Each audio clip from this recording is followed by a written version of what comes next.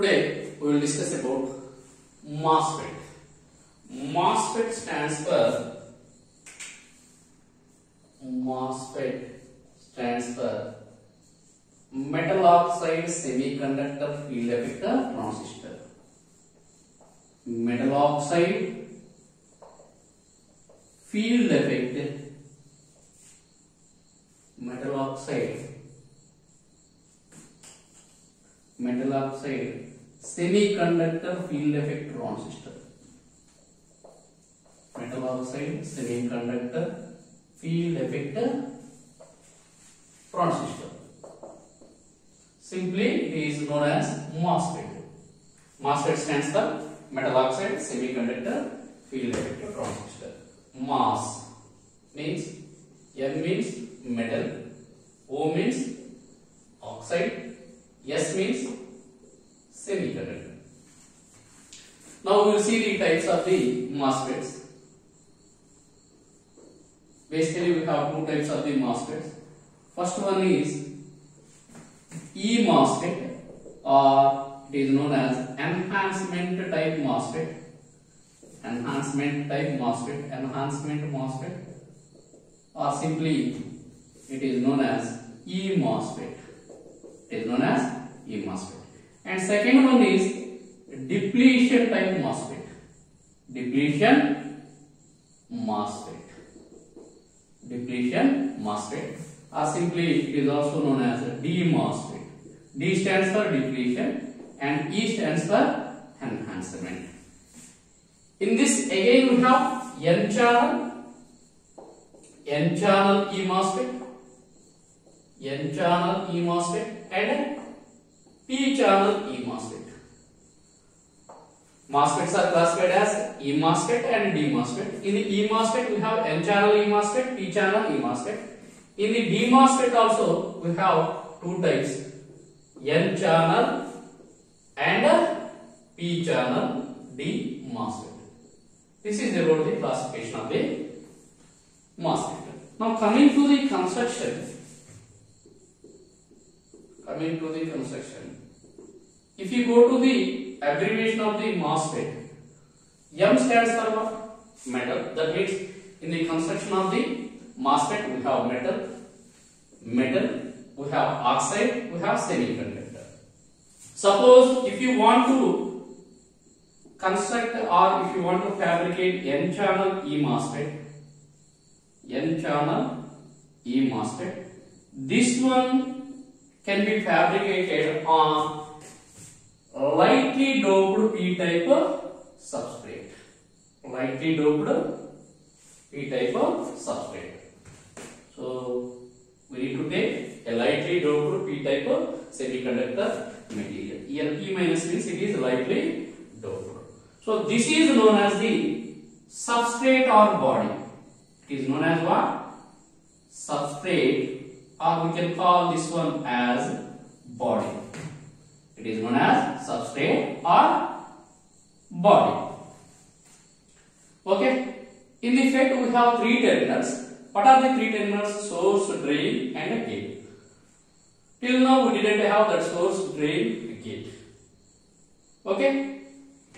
In this lightly doped p-type material, two n plus regions can be formed by using impurity diffusion method. Two n plus regions can be formed by using impurity diffusion method. So that means what? In this we can add some impurities and we can form these regions. This is n plus and this one also n plus. So in the MOSFET semiconductor, this is semiconductor over and we have we require oxide. In this material, for this material, at the top of this material, oxide can be formed, a silicon dioxide can be formed on the top of the semiconductor material like this. So this is what? This is silicon dioxide. A silicon dioxide can be formed on the top of the semiconductor material as shown in this figure. So this is what SiO2. By using oxidation process, we can deposit silicon dioxide on the top of the semiconductor material. This is semiconductor, this is oxide and another one is metal. Another one is metal. So before entering into that metal, these two N plus regions can be taken as source and a drain. So in order to take the connections, we need to remove, actually this silicon dioxide can be used as the insulator. That means it is the insulator, but we require the electrical connection. So that's why we need to remove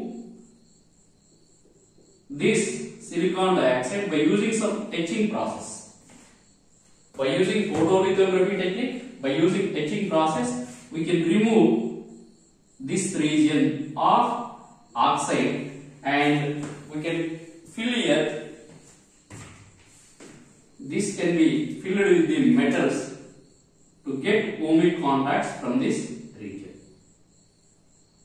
So this is what here metals are deposited, oxide is removed and metal is deposited in order to take the ohmic contacts for our terminals.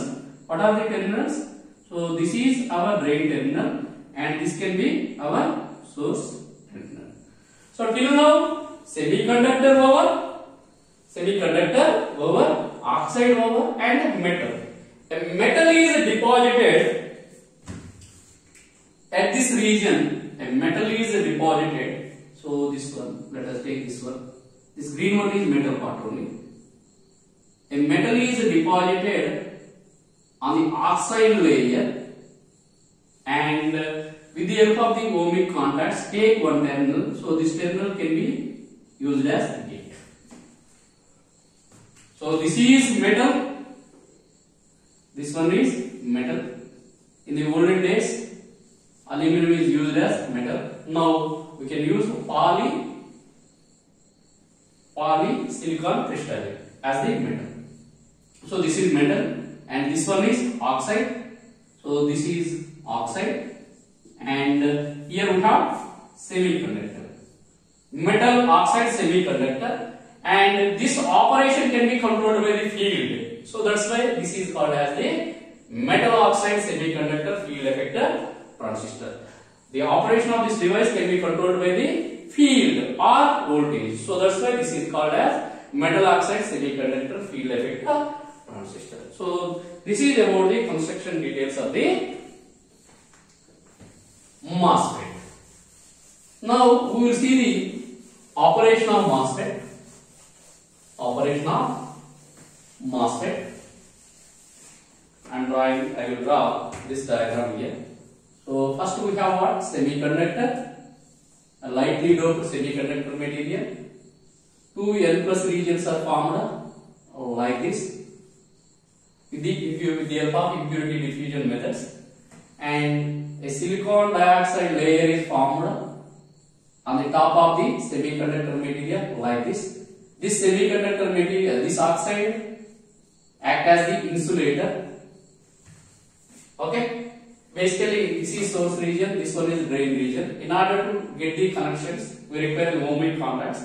For that purpose, we need to remove this portion and this can be filled with the metals and so that means in order to take the electrical connections we require the metals. So here we have gate and uh, this one is drain. And this one for n channel E MOSFET it is p type lightly doped p type. Lightly doped p type so this is known as substrate and it is our oxide that is silicon di- dioxide semiconductor. A metal is deposited in this region at the top of the metal is deposited at the top of the this silicon dioxide. So this is our gate. This one is acting as gate. So that means this metal and semiconductor are not connected. So there is a insulation between the semiconductor and a gate. So means what? This is acting as the insulator. Silicon dioxide acting, as the insulator. So that's why MOSFET is also known as IG FET. IG FET means what? Insulated gate. Insulated gate. Insulated gate. So here silicon dioxide act as the insulator.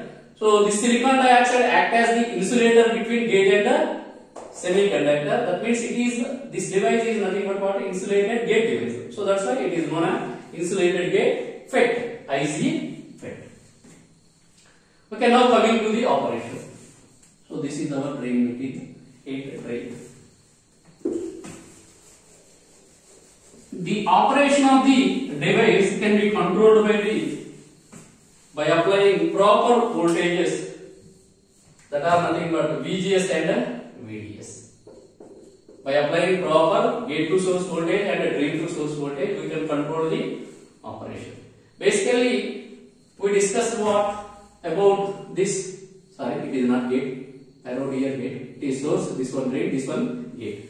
Source is the terminal through which charge carriers are leaving, and drain is the source is the terminal through which charge carriers are entering into the bar or entering into the channel, and drain is what it is the terminal through which charge carriers are leaving from the channel. That means there must be flow of the charge carriers from source to drain. Okay. Suppose if VDS is constant, let us take case one. It is case one. VDS is constant. VDS is constant, and uh, let us take this as positive and uh, positive for n channel E MOSFET. Channel E MOSFET. Now vary VGS from 0 to positive values. Positive values. If VGS is 0, VGS is 0 means what? So unbiased condition. In that case, there is no current. Why? Basically, this source and body, body means this substrate, are internally connected, internally short circuited. So this is our body. Body and source are internally connected. That means they are short circuited together. If VGS equal to 0, no current. Why? Basically, charge carriers must flow from source to drain. So what about this region? This is PN junction, this is also PN junction. Here we have the depletion regions. Initially we have depletion region. So that means what this region is depleted of the free charge carriers. So that's why there is no flow of the charge carriers from source to drain if VGS equal to 0. Now apply VGS as positive. VGS is positive. If this one is the positive voltage, here we have positive gate voltage. So that means what? Here this metal at the metal we will get a positive voltage. This positive voltage can polarize the charge carriers in the silicon dioxide. So if it is positive, so then it can repel the it can repel the Okay, so if it is positive, it can attract the negative charge carriers and pushing away positive charge carriers. That means here we have positive, positive, positive. And these positive charge carriers can repel the majority charge carriers in the p-type material. What are the majority charge carriers? Holes. So these holes are having the positive charge. So that means it can repel the positive holes. As it can repel the positive holes, so it leads to what? Here there exists what? Immobile ions. So that means what? There are no free charge carriers. If this VGS is positive and if it is small. If it is small. For the smaller uh, positive voltages of the VGS, there is no flow of the charge carriers because it can repel the positive charge carriers. That means what? Here we have immobile ions. Okay? And increase the VGS. Increase the VGS further.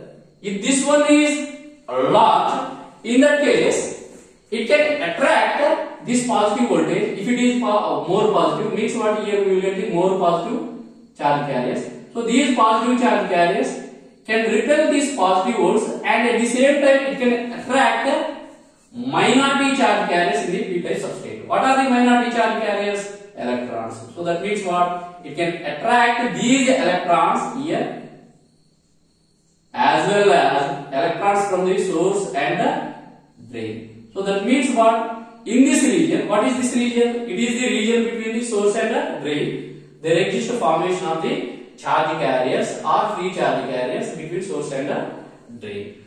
If you apply proper voltage at the drain voltage, this drain voltage can attract these electrons. So that means what I said VDS is constant and positive. As it is positive, it can attract the electrons. So that means this drain can attract this positive one. So it is positive. This positive voltage can attract these electrons and electrons. So that means what there is a flow of charge carriers from source to drain. So that means here a channel can be formed between drain and the source by applying proper voltage. That means what? If you apply VGS positive for the positive voltages, it leads to what polarization of the this SiO2. Polarization means what? A separation of positive and negative charge carriers. That means this positive can attract a negative. So that means at this at the top place of the oxide we have negative. At the bottom of the oxide we will get. And this positive can repel these majority charge carriers. And if it is more positive, in that case it can attract minority charge carriers in the p-type material. What are the minority charge carriers? Electrons. And at the same time it can attract a majority that are electrons are having negative here also negative that means this positive can attract these negative charge carriers and it leads to formation of what a channel between source and drain if you apply more voltage have more number of charge carriers in this channel or in this region. That means we can enhance the channel. That means we can enhance the channel or we can enhance the conductivity of the this region or channel. So that's why this type of FET is known as what? Enhancement of MOSFET. Once again I am repeating, if this one is positive and if it is increased furthermore, in that case it can attract more electrons. So that means what? We will have more electrons or more charge carriers for the conduction in the channel. That means we can enhance the conductivity of the channel. So that's why it is known as enhancement type of MOSFET. If it is N channel, type of the substrate should be P type. Why it is called as N channel? Because here we have the charge carriers in the channel are majority charge carriers are nothing but what? Here we have only electrons in the channel. So that means here we have the a channel that is N type.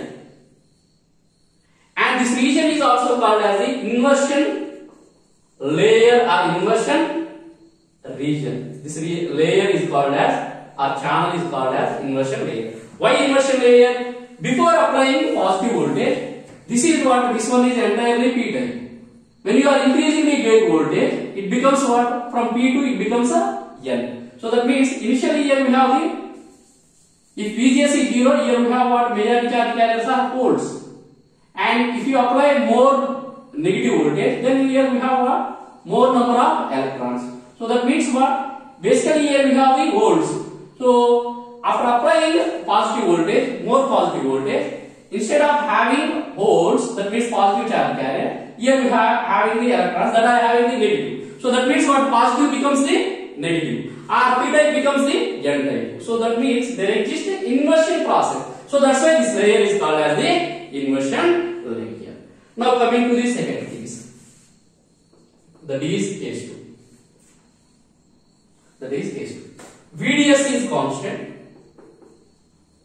VDS is sorry, VGS is constant, and this VGS should be greater than VT. What is VT? What I said, if VGS is zero, there is no conduction. If VGS is positive and small, in that case also no conduction. Why? Initially, it repels the positive charge carriers that are holes.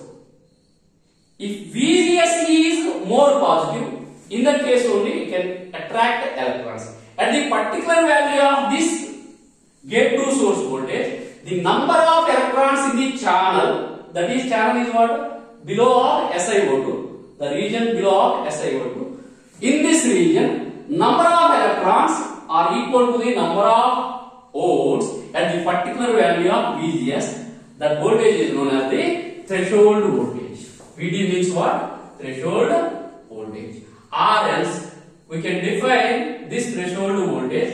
It is the gate to source voltage at which number of electrons in the channel are equal to the number of holes in the p-type material. Then only there exists a conduction. That means if VGS equal to VT or greater than VT, then only we have the conduction. That means here if VGS minus VT is greater than 0, in that case only there exists a conduction. If VGS equal to VT, there is no conduction. Of course, there is a formation of the charge carriers. That means they are ready to conduct. Okay? If VGS is greater than VT, in that case we have more number of electrons in the channel than the holes in the p-type material. So that's why we require this threshold voltage. Threshold voltage means what? It is the gate to source voltage at which number of electrons in the channel are equal to the number of holes in the p-type material. In order to get the conduction, this VGS should be greater than VT. If VGS is greater than VT, if you increase our VDS, if you increase our VDS, and what about the current?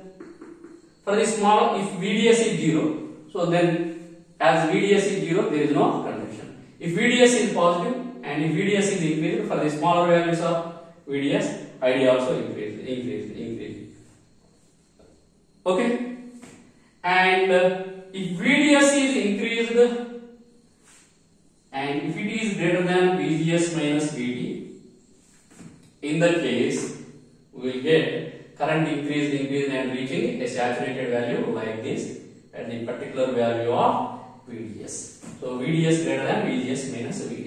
If VDS equal to VGS minus VT, in that case, drain capacity to attract electrons and gate capacity to electrons are same. If VDS is greater than if VDS is greater than VGS minus VT, in that case, the drain capacity is more to attract the electrons from the this from this region and this region when compared to the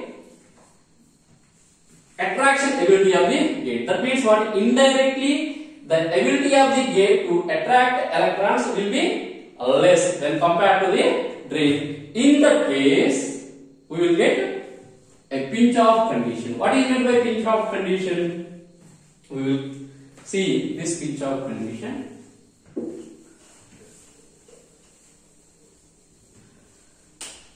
So actually we have in between in between source and drain we have the channel like this. This is our channel. This is our source and this one is drain. This is our channel. Actually for the ideal case I am taking channel will be like this. This is our drain end and this is our source end. And this is our gate end. Gate end. Okay? In order to get the more conduction, this VGS should be greater than VDS. If VDS is greater than VGS, in that case, the ability of attracting electrons from the p-type region or p-type material will be reduced when compared to this VDS. So in that case, channel will be tapered at the drain end side. Why channel will be ta tapered at the drain end side? If you see, drain is connected to what? So VDS is positive, means N type is connected to positive, N type is connected to positive, and source and body are internally connected. That means they are short circuited. This one N type is connected to positive and uh, P type is connected to negative. That means we have reverse biasing of the PN junction for the applied VDS. As we have reverse bias, in case of the reverse bias, in case of reverse bias, there exists a depletion region. And here we are increasing the VDS. Here we are increasing the VDS. As VDS is increased, the reverse bias increases. As reverse bias increases, depletion region increases. That means what? Initially, suppose VDS is 0, full channel is available for the conduction and if VDS is increased further, in that case, the channel will be tapered at the drain end side. So that means, basically, let us say VDS is 0, channel will be like this and uh, if VDS is more positive for the greater values, In that case, channel will be tapered like this. Okay, this may be depletion region. So that means what? On the drain end side, we have the depletion region more when compared to the source end. So this is nothing but depletion region at a drain end. So let us say at this location, at this location, the length of the channel we can take as L, and at this location there will be pinching of the channel from drain end. Let us take this distance as some delta L, delta L, and we are applying a voltage that is what VDS, and this one is more positive compared to that one, and this VDS can be applied for that electrons and appeared at length of this delta L. That means as voltage increases, field also increases. If you apply higher electric field, we will get the saturation of the uh, velocity saturation of the charge carriers. In that case, we will get the a constant current uh, like this. That means charge carriers are flowing from the source to drain. And when these electrons entering into the higher electric field, higher electric field means what? We are applying the higher VDC, VDS. In that case, the velocity of the charge carriers gets saturated and current will be constant like this. So this is about the drain characteristic. So this is VDS and this one is ID, our ID. So this is about operation of our filter.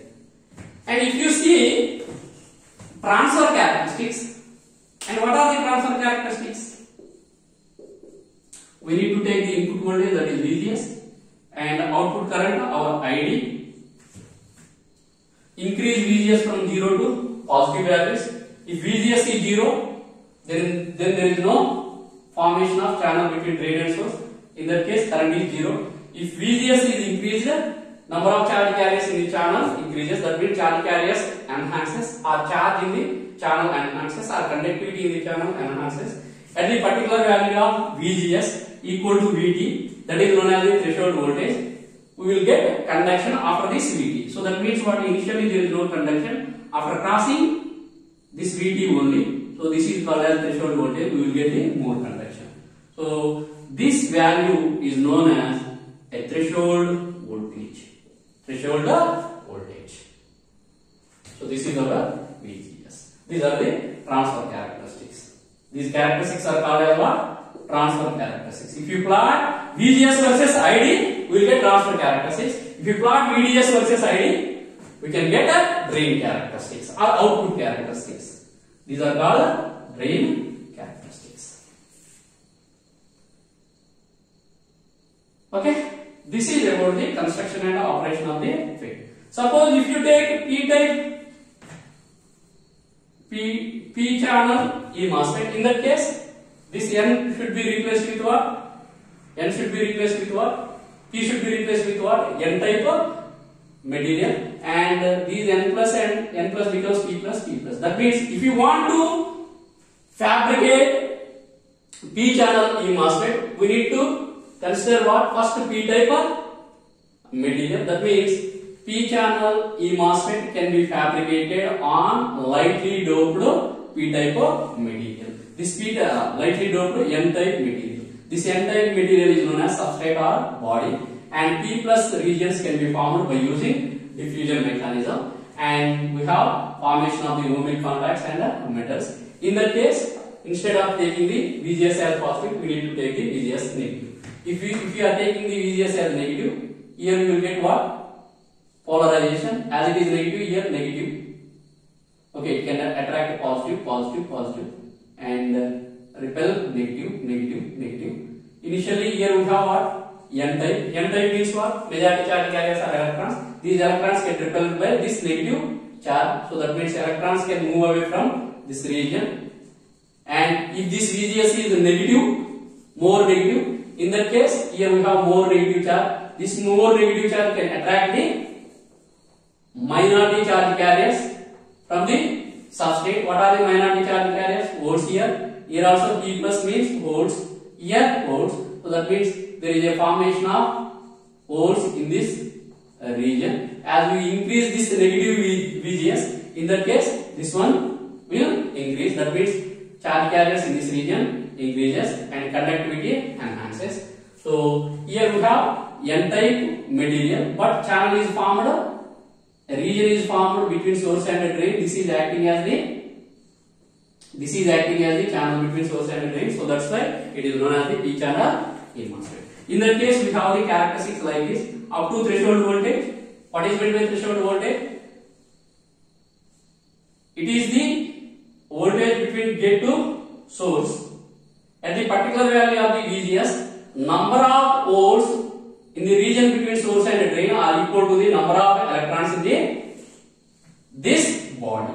So if voltage is increased further, in that case we will get a current like this. So these are the transfer characteristics. And what about the drain characteristics? So drain characteristics are like this only. And uh, VGS is here, we are taking the negative and we need to attract this one. So that's why VDS should be taken as negative and current is also negative and we will get like this. Okay, this is about what? Construction and working of the FET. In the next class, we will derive current expression for MOSFET.